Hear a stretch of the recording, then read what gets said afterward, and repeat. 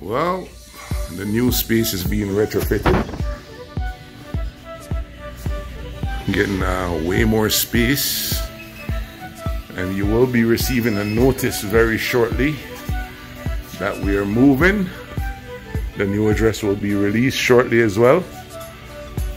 Um, we're pressed for space. As you can see, there's a lot of shelf space to hold your items. We get them shipped off to Jamaica. Yep.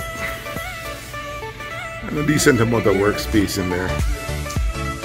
So you'll be getting texts, you'll be getting multiple emails, you'll be getting a WhatsApp message with a new address.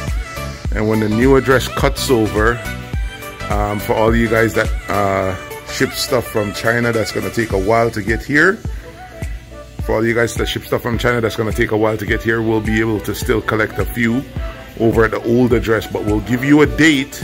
And if you're still shopping and selling stuff from Amazon and those places after that date, then, you know, the liability will be on you because we're going to go over and beyond to ensure that you receive notice that we're moving and that we're going to have a new address.